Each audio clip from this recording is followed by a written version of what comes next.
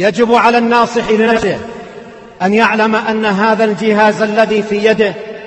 سيسأله الله تبارك وتعالى عنه يوم القيامة في كل كلمة كتبها أو صوت نقله أو منظر رآه أو سائعة تقبلها أو نشرها أو غير ذلك